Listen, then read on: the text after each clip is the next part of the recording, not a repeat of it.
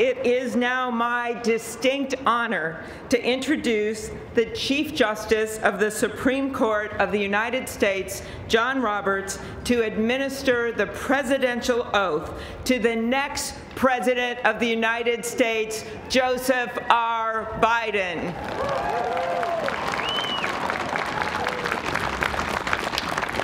Ladies and gentlemen, please stand for the oath of office, followed by musical honors.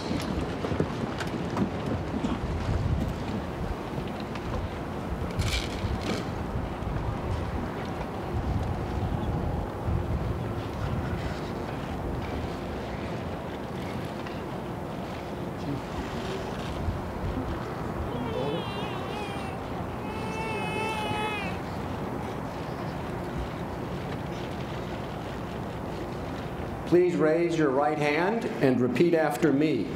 I, Joseph Robinette Biden Jr., do solemnly swear I, Joseph Robinette Biden Jr., do solemnly swear that I will faithfully execute that I will faithfully execute the office of President of the United States office of President of the United States, and will, to the best of my ability, will to the best of my ability preserve, protect, and defend preserve, protect, and defend the Constitution of the United States. the Constitution of the United States. So help you God. So help me God. Congratulations, Mr. President.